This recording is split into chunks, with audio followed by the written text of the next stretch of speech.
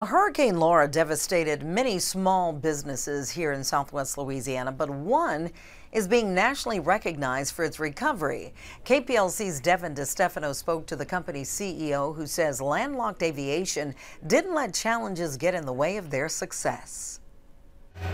Businesses are the engine for the economy. That engine nearly shut down in the aftermath of Hurricanes Laura and Delta.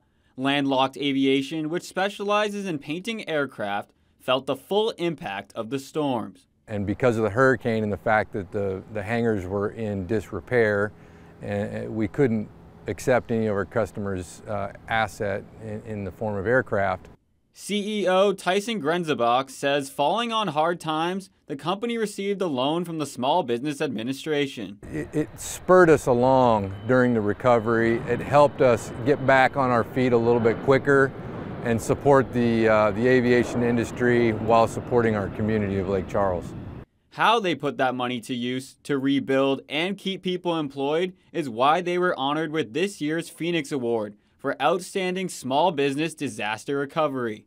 A shining example, if you will, of, of, a phoenix rising from the ashes. They used the proceeds as they were intended, and as a result, the companies not only uh, survived the, uh, the, the, disaster effects of uh, the hurricane, but now actually thriving.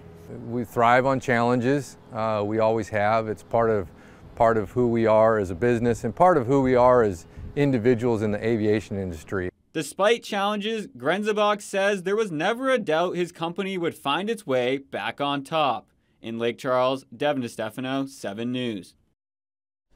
Landlocked Aviation's resilience paid off. 2022 was a year of record revenue.